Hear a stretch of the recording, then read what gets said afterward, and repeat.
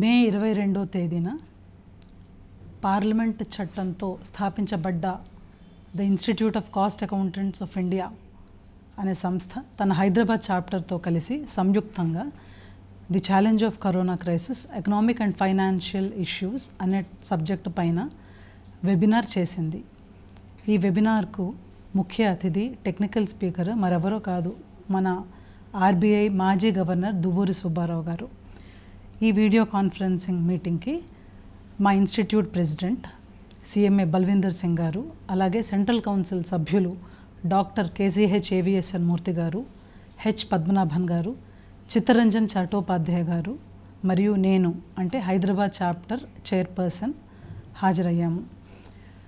ఈ మీటింగ్లో దువ్వూరి సుబ్బారావు గారు పది అంశాలపైన ఫోకస్ చేశారు. మనందరికీ తెలిసిందే ఆయన ఆర్బీఐ గవర్నర్ కాకముందు మన దేశ ఆర్థిక పటిష్టతకు సంబంధించి ఎన్నో కమిటీల్లో ఆయన ఉండి ఎంతో సేవ చేశారు మన దేశానికి. ఆయన ఐఐటిఎన్ డబల్ ఐఐటిఎన్ ఐఐటి ఖరగ్పూర్ కాన్పూర్లో చదివారు. అలాగే ఇవాళకి కూడా ఎంతో ఎన్నో అంతర్జాతీయ విశ్వవిద్యాలయాల్లో ఆయన ప్రొఫెసర్గా ఫ్యాకల్టీగా రికగ్నైజ్ అయ్యి ఉన్నారు.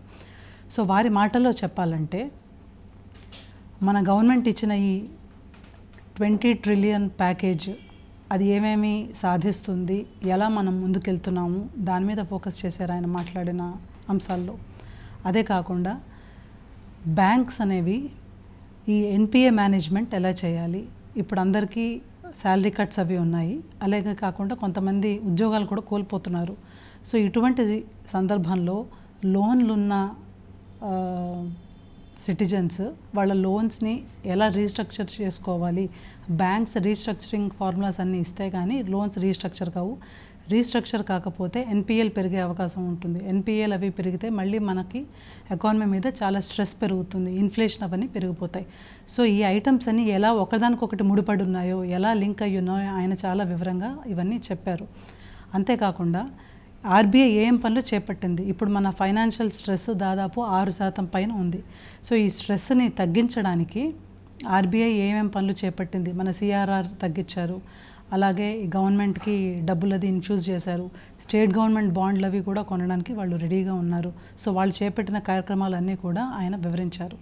దాంతోపాటు ఈ ఇప్పుడున్న క్రైసిస్ని కరోనా క్రైసిస్ని ఆయన చక్రవ్యూహంతో పోల్చారు. చక్రవ్యూహంలోకి వెళ్ళడం తెలుసు అభిమన్యుడికి కానీ బయటికి రావడం తెలియదు మన అభిమన్యుడిగా కాదు అర్జునుడిలా ఉండాలి. లోపలికి వెళ్ళడము తెలుసు బయటికి రావడము తెలుసు అని ఆయన పోల్చి పోల్చి చెప్పారనమాట సో ఇప్పుడున్న క్రైసిస్ని మనం మేనేజ్ చేయడంతో పాటు బయటికి రావాలి. బయటకు వచ్చేటప్పుడు ఎలా ఉండాలి?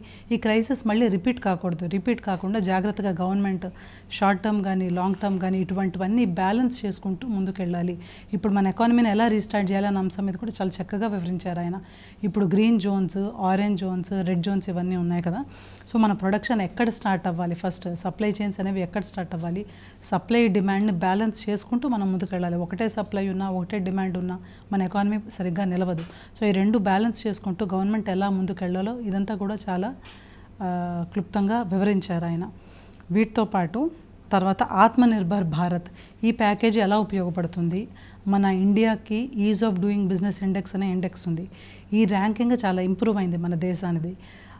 ఇంప్రూవ్ అయింది. ఎందుకు ఇంప్రూవ్ అయిందంటే మనం తీసుకున్న పాలసీస్ వల్ల రిఫార్మ్స్ వల్ల ఇంప్రూవ్ అయింది. ఆయన ఏం చెప్తున్నారంటే బయట ఇంటర్నేషనల్ పిక్చర్లో ఇండియాలో బిజినెస్ కష్టం అని చెప్పి అందరు అనుకుంటూ ఉంటారు. కానీ అలా లేదు. ఇవాళ పరిస్థితులు చాలా మారాయి. Ease of doing business index కన్నా ఎక్కువే మన దగ్గర ఈజ్ ఉంది. ఇంకా చాలా ఈజీగా ఫారెన్ ఇన్వెస్టర్స్ కానీ ఎవరైనా కూడా ఈజీగా వచ్చి బిజినెస్ చేయగలుగుతున్నారు. దానికి కేవలం మన పాలసీసే రిఫార్మ్సే కారణం అని చెప్పి చెప్పారు. అలాగే ఆత్మనిర్భర్ భారత్ అనే ప్యాకేజ్ మన గుండె నిబ్బరాన్ని ఎలా పెంచుతుంది? మన భారతీయులంతా కూడా ఎలా కలిసి ముందుకెళ్ళాలి? అన్న అంశం మీద కూడా చాలా బాగా వివరించారు ఆయన. ఇదే కాకుండా మనం డిజిటైజేషన్ వైపు వెళ్తే కనుక ఖచ్చితంగా ఇండియా మన వరల్డ్ మ్యాప్లో టాప్ ఫైవ్ కంట్రీస్లో ఉంటుంది. ఇప్పుడు చైనాలో చాలామంది పెట్టుబడి పెట్టారు. చైనాలో పెట్టుబడి పెట్టిన కంపెనీలన్నీ కూడా చైనాలోంచి బయటకు వచ్చేద్దామని చెప్పి చూస్తున్నాయి.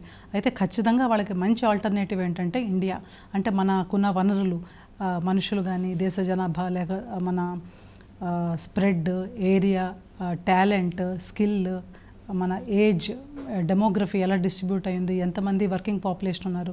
సో ఏ కారణం కానివ్వండి చైనాలోంచి బయటకు వచ్చిన కంపెనీస్ అన్నిటికీ ఇండియా చాలా మంచి డెస్టినేషన్ అని చెప్పి ఆ కంపెనీస్ అన్నీ కూడా ఖచ్చితంగా ఇండియాకు వస్తాయి. అయితే మనం మాత్రం డిజిటైజేషన్ వైపు వెళ్ళాలి.